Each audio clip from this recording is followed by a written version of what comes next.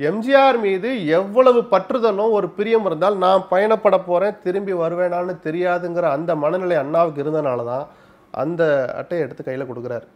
வீட்டுக்குள்ளேயே எதிரி இருக்கிறான் கவனமாக இரு அப்படின்ற அர்த்தம் அதில் பொதிஞ்சிருக்கு. எண்பது சதவீதம் நீங்கள் அந்த அர்த்தத்தை தான் எடுத்துக்க முடியும். போனார் வந்து கொஞ்ச காலத்திலே மறைஞ்சிடுறார். மற்ற யாருக்கு எவ்வளோ பெரிய இழப்போ தெரியல எம்ஜிஆருக்கு மிகப்பெரிய இழப்பு அண்ணாவினுடைய இழப்பு. அதையும் மீறி அறுபத்தொம்போதில் இங்கே தான் கலைஞருக்கும் எம்ஜிஆருக்குமான மோதல் தொடங்குது. தொடங்கியவர் எம்ஜிஆர் அல்ல. கலைஞர் தான் தொடங்குறார். எப்படி தெரியுமா? அண்ணா மறைந்த பிறகு ஒரு அமைச்சரவை அமைக்கிறார். எந்த ஆதித்தனாரை எம்ஜிஆர் எதிர்த்தாரோ திட்டமிட்டு அதே ஆதித்தனாரை ஒரு அமைச்சராக்குறார். கலைஞர் அவர்கள். இது வந்து எம்ஜிஆர் சூடேத்துற வேலை. நான் பண்றதை பண்ற உன்னால முடிஞ்சதை பாரு. அப்படின்னு. சரி அப்போ எம்ஜிஆர் எதுவுமே சொல்லிக்கிடல. அமைதியாக தான் அதை ஏத்துக்கிட்டாரு. போயிட்டு ஆமா, வேற வழி இல்லை. சரி நீங்க இருக்கிறீங்க முதலமைச்சர் சீட்டில் இன்னைக்கும் அந்த சூழல்ல கூட கலைஞரை முதலமைச்சராக ஆக்குவதற்கு எம்ஜிஆர் தான் காரணம்னு கலைஞரே பதிவு பண்றாரு. ஏன்னா நெடுஞ்செழியன் விரும்பினார். கலைஞரும் விரும்புறார். அப்போ ப- எப்போ கட்சியில பெருவாரியான செல்வாக்கு இருக்கு. இன்னும் கொஞ்சம் கொஞ்சம் எதிர்ப்பு தான் அந்த கடைசியில களத்துல இறங்கி அந்த எதிர்ப்புகளையும் சமாளித்து கலைஞர் தான் வரணும்னு சொன்னதுல முக்கியமானவர்கள முதன்மையானவர் எம்ஜிஆர் தான். எம்ஜிஆர் தான். கலைஞரே தன்னுடைய நெஞ்சுக்கு நிதியில் பதிவு பண்ணியிருக்கிறார். அப்போ தான் முதல்வராக விரும்பி ஆவதற்கு அவ்வளவு ஆதரவை தெரிவித்து எம்ஜிஆர் காயப்படுவார்னு தெரிஞ்சிருந்தோம். ஆதித்யநாத் அவர் அமைச்சராகிறார். ஆதித்யநாத் மேல இருக்கிற அந்த வெறுப்புல சொல்லல. கலைஞருக்கும் எம்ஜிஆருக்கும் இடையில பிளஸ் ஆதித்யநாத் இந்த முக்கோணத்துல கலைஞர் என்ன ஸ்டாண்ட் எடுக்கிறாருங்கிறது தான் முக்கியம். முக்கியம். அந்த ஸ்டாண்ட் எடுத்துட்டார். எம்ஜிஆர் அமைதியாக தான் இருக்கிறார். சரி போய்கிட்டே இருக்கு. ரெண்டு ஆண்டுகளில் தேர்தல் வருது. எழுபத்தி ஒன்று எழுபத்தி ஒன்று தேர்தலையும் சூறாவளி பிரச்சாரம் பண்றார் எம்ஜிஆர். அன்னைக்கும் ஒரு மிக செல்வாக்குமிக்க நடிகர். அண்ணா காலத்தில் கூட பெற முடியாத வெற்றியாக கிட்டத்தட்ட நூற்றி எண்பது இடங்களில் திமுக வெற்றி பெறுது. எழுபத்தொன்னில் வெற்றி பெற்று முடிஞ்சிருது. இவர் ஒரு ஷூட்டிங்கில் இருக்கிறார். தேர்வு தேர்தல் முடிவுகள் வந்துடுச்சு. குறைஞ்சபட்சம் அன்னைக்கு எம்ஜிஆருடைய எல்லா ரசிகர்களும் எதிர்பார்த்தாங்க. அண்ணா காலத்துலேயும் அவருக்கு அமையல. இப்போ கலைஞர் தான் இருக்கிறாரு. இவ்வளோ பெரிய வெற்றிக்கு மிகப்பெரிய காரணமாக ஒருவராக இருக்கிறாரு. அமைச்சர் ஆயிடுவார்னு எல்லாரும் எதிர்பார்த்த நேரத்தில் இவரும் போய் கேட்குறாரு என்ன காரணமோ தெரில எம்ஜிஆர் அப்போது எனக்கு மெடிக்கல் மினிஸ்ட்ரின்னு ஒரு வார்த்தையை பயன்படுத்துகிறாருன்னு அவர் சொல்ல தெரியாமல் செஞ்சாரோ இல்லை வாயில வரும்போது தவறி வந்ததோ அதை வரலாற்றில் பதிவு பண்ணுற போது சுகாதாரத்துறையை கேட்டார்னா கலைஞர் எழுதியிருக்கணும். எம்ஜிஆரை சிறுமைப்படுத்த வேண்டும் என்பதற்காகவே கலைஞர் அந்த வார்த்தையை அப்படியே பயன்படுத்துகிறார் மெடிக்கல் மினிஸ்டர் வேணும்னு கேட்டார். என்ன ஹெல்த் மினிஸ்டர்னு சொல்லணும் அதை. நீங்கள் ஏன் அது சின்ன சின்ன விஷயத்தில் கூட எம்ஜிஆர் எங்கெல்லாம் காயப்படுத்தணுமோ காயப்படுத்திக்கிட்டே தான் வந்தார். அது வரலாற்றுலையும் பதிவு பண்ணுறார் இவர் போய் கேட்குறாரு ஆசைப்பட்டு சுகாதாரத்துறை கொடுங்கன்னு கேட்குறார். இவர் என்ன சொல்றாருன்னா அப்போது சட்டம் வந்து அவ்வளோ ஸ்ட்ராங்காக இல்லை. அதாவது ஒரு அமைச்சராக இருக்கிற ஒருத்தர் இன்னொரு அரசு வருமானம் பெறுகிற இன்னொரு பதவியில் தான் இருக்கக்கூடாது. இது சட்டம். நடிக்கிறதுக்கு தடை கிடையாது. ஆனால் மரபுகள் தடையா இருக்கலாம். நம்ம அதை பேசிக்கலாம் அனுமதி கேட்கலாம் இல்லை அமைச்சர் ஆயிடுங்க நடிக்கக்கூடாதுன்னு சொன்னால் நடிப்பு விட்டுருங்கன்னு சொல்றது ஒரு கட்டம்.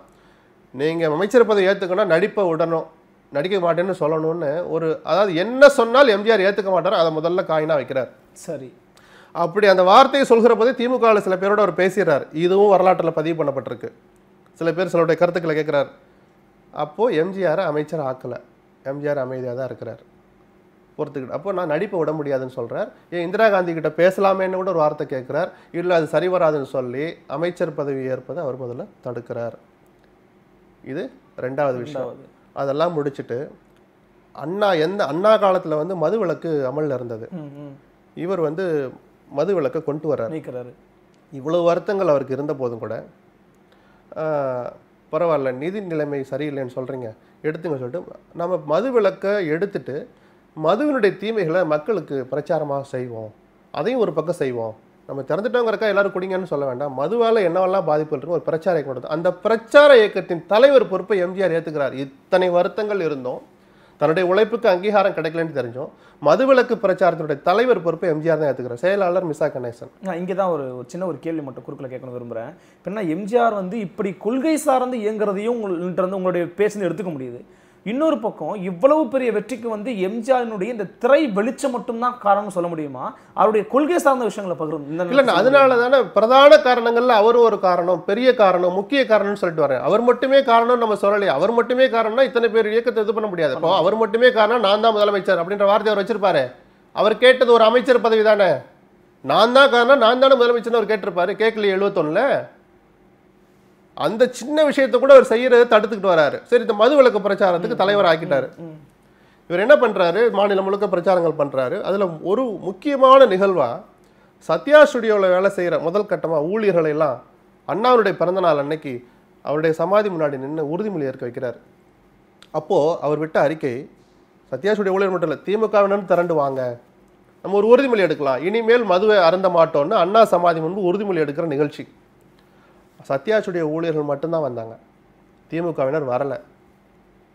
இது எவ்வளவு பெரிய முக்கியமான விஷயம்? அரசுக்கு ஆதரவான நிகழ்ச்சி. அத்தனை வருத்தங்களையும் தாங்கிக்கிட்டு தான் அந்த பதவியை ஏத்துக்கிட்டு இந்த பிரச்சாரத்தை பண்ண எம்ஜிஆர் ஒத்துக்கிட்டார். திமுக அன்னைக்கு ஆளுங்கட்சி. திட்டமிட்டு கலைஞர் முதலமைச்சர். எப்படி சார் திமுக காரன் வராம இருப்பான்? அப்போ நீங்க திட்டமிட்டு போவதை தடுக்கிறீங்க. தடுத்து முடிச்சுட்டு அதோட நிக்கல. எம்ஜிஆருக்கு செல்வாக்கு அவ்வளவுதான். கூட்டமே இல்ல. அவருடைய நடிகருங்கிற அந்த பிம்பம் எல்லாம் உடைஞ்சு போச்சுன்னு இப்படி ஒரு பிரச்சாரத்தை வேற மறைமுகமா பண்றாங்க. ரசிகர்களே வந்திருக்கலாமே பல பேர் அழைச்சிட்டு வந்திருக்கலாம். சென்னையில நடக்குது சார். நீங்க திமு சென்னையில இருக்க திமுக ஆயிரம் பேர் திரண்டாலே சமாதி முன்னாடி ஒரு கூட்டம் வந்திருக்குமே.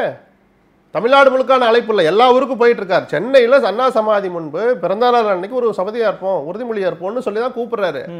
முதலமைச்சர் பதவியில கலைஞர் இருக்கிற போது ஒரு மூணு மாவட்ட செயலர் ரெண்டு மாவட்ட செயலரை கூப்பிட்டு சொல்லி இருந்தாலே பல பேர் கூட்டம். வந்திருக்கும் வரல. சரி நிகழ்ச்சி நடந்து போச்சுன்னு முடியாம திட்டமிட்டு ஒரு பிரச்சாரத்தை பரப்புறாங்க. எம்ஜிஆருக்கு செல்வாக்கு இல்ல. அவர் கூப்பிட்டும் யாரும் வரல. இது எம்ஜிஆருக்கு மட்டும் அவமானம்? கலைஞருக்கும் சேர்த்து தான் அவமானம். இது அடுத்த காயம் எம்ஜிஆருக்கு. அதையும் மீறி அப்படியே போய்கிட்டு இருக்கு கலைஞர் அடுத்த காயம் நகர்த்துறார். திமுகவினுடைய அண்ணாவுக்கு பிறகான திமுக வரலாற்றில் கலைஞருடைய அந்த சில ராஜதந்திரம்னு அவங்க சொல்லலாம். கொச்சையா சொன்னா சில சில சூழ்ச்சிகள்ல அடுத்த சூழ்ச்சி இதுதான். மூக்கா முத்துவை நடிக்க கூட்டிட்டு வராரு தாராளமாக கூட்டலாம். இந்த நாட்டுல யார் வேணாலும் நடிகராகலாம் வரலாம். யார் வேணாலும் என்ன வேணாலும் வேஷங்கள் கட்டலாம். யார் தப்பு கிடையாது. அவர் நடிக்க கூப்பிடுறார். தன்னுடைய ப்ரொடக்ஷன் கம்பெனி வச்சு அந்த படத்தை பெட்ரால் தான் பிள்ளையா படத்தை ஆரம்பிக்கிறார். அதை ஷூட்டிங்கை தொடக்கி வச்சதே எம்ஜிஆர் தான். அப்போ கூட எம்ஜிஆர் அவரை போட்டியாளராகவோ எதிரியாகவோ நினைக்கல. சோ உள் முரண்கள் அந்த நேரத்துல இல்ல. உள்ளூரே இருக்குது. ஆனாலும் எம்ஜிஆர் தன் போய்கிட்டே தான் இருக்கிறார். பனிப்போர். அந்த ஷூட்டிங்கை தொடங்கி வைங்கன்னு கூப்பிட்றாரு. இவர் போய் கிளாப் அடிச்சு தொடக்கி வைக்கிறாரு. படம் முடிஞ்சு ரஷ் போட்டு அந்த ப்ரிவியூ காட்டுறாங்க. முழுக்க முழுக்க எம்ஜிஆர் மாதிரியே நடிக்கிறார் அவர். அவருடைய முகபாவனைகள் கை விரல் அசைவுகள் எல்லாமே எம்ஜிஆர் மாதிரி இருக்கு. அப்போ ஏதோ ஒரு கலைஞர் திட்டமிடுறான்னு எம்ஜிஆருக்கு தெரிஞ்சு போச்சு. படம் முடிஞ்ச உடனே முத்துவை கூப்பிட்டு உனக்குன்னு ஒரு பாணியை வச்சுக்கோ அப்படின்னு சொல்லிட்டு கிளம்பிறாரு. அதுக்கப்புறம் இப்போ எல்லாம் திமுக ஆட்சியில் இருக்கு. அதை ஞாபகம் வச்சுக்கிட்டே வாங்க. கலைஞர் முதலமைச்சர் இருக்கிறார். எம்ஜிஆர் மன்றங்கள் தான் எம்ஜிஆருடைய ஆதரவுக்கும் புகழுக்கும் அடிப்படை. நிச்சயமா. பின்னாடி தொடங்க போற கட்சிக்கும் அதுதான் ஆதாரமா இருந்தது. இவர் என்ன பண்றாங்க? ஒரு படம் வெளியே வந்த உடனே அங்கங்க இருக்கிற எம்ஜிஆர் மன்றங்களை பூரா மூக்காமுத்து மன்றங்களா வற்புறுத்தி மாத்துறாங்க. இது எம்ஜிஆர் கவனத்துக்கு வருது. இது நல்லது இல்லைன்னு அவருக்கு ஒரு இது. அடு- என்னவெல்லாம் செஞ்சா எம்ஜிஆரை கோவப்படுத்துமோ அதெல்லாம் பண்றாங்க. பண்ணி முடிச்சிடுறாங்க. அதுக்கப்புறம் அப்பவும் அமைதியாக தான் இருக்காரு. சேலம் மாவட்டத்திலேருந்து அப்போ கட்சியினுடைய மாவட்ட பொறுப்பில் இருந்த சுப்பிரமணியம் எஸ் எஸ் சுப்பிரமணியம் நினைக்கிறேன். அவர் ஒரு கடிதம் எழுதுகிறார் எம்ஜிஆர் ஒரு நடிகராக இருக்கிறார். வருமானத்துக்கு அதிகமாக நிறையா வச்சுருக்கிறார். அதனால் இன்கம் டேக்ஸ்க்கு பயப்படுற நிலைமை இருக்கு. காங்கிரஸ் கட்சிக்கு தனக்கு தன் மேலே வருமான வரித்துறை ரெய்டு வந்துருமோன்னு பயந்து காங்கிரஸ் கட்சிக்கு பயந்து திமுகவை உடைக்க அவர் சதி செய்கிறார். அப்படின்றது தான் லெட்டர் வாசகம். நிஜமாகவே ஒரு கட்சியில கட்சியின் மீது நம்பிக்கை உள்ள எஸ் எஸ் சுப்பிரமணியத்துக்கு கட்சியின் மீது அவ்வளவு ஒரு மரியாதையும் ஒரு எதிர்கால பயமும் இருந்திருந்தா. அந்த லெட்டரை கட்சியினுடைய தலைவருக்கு அனுப்பியிருக்கணும். அவர் அனுப்புனது துக்ளக் பத்திரிகைக்கு அனுப்புறார். அப்போ திட்டமிட்டு எம்ஜிஆரை கோவப்படுத்துறதுக்கான அடுத்த காய் நகர்வு அப்போ எம்ஜிஆர் நிஜமாவே சூடாயிட்டார். ஒன்று நான் இருக்கணுமா? இல்லை அந்த சுப்பிரமணியம் இருக்கணுமா? அப்போ சுப்பிரமணியத்தை தூண்டி விட்டது யாருங்கிற அளவுக்குலாம் அவர் அடுத்த கட்டத்துக்கு போகல. போகல. நானா சுப்பிரமணியன் கேட்ட பிறகு எம்ஜிஆர் வெளிப்படையாக ஒரு கோரிக்கையை வச்ச பிறகு தான் கலைஞர் அவர் அஞ்சு அஞ்சு வருஷத்துக்கு சஸ்பெண்ட் பண்ணுறாங்க கட்சியிலேருந்து இருந்து. நான் என்ன சொல்ல வரேன்னா திட்டமிட்டு ஒரு ஒரு நகர்வுகளை எம்ஜிஆரை காயப்படுத்தி கோவப்படுத்திக்கிட்டே வர்றாங்க. அவராகவே ஒரு முடிவு எடுக்கட்டும். அல்லது தன் வளர்ச்சிக்கு எம்ஜிஆர் இடையூறாக இருப்பார்னு முதல் நாளிலிருந்தே கலைஞர் திட்டமிட்டு தான் அவரை காயப்படுத்திட்டு வர்றார் ஒதுக்கிக்கிட்டே வர்றார். இதெல்லாம் முடிஞ்ச பிறகு தான் ஒரு எல்லைக்கு மேலே நம்ம இனிமேல் தாங்க முடியாது அப்படின்ட்டு தான் இவர் சொத்து கணக்கை கேட்குறாரு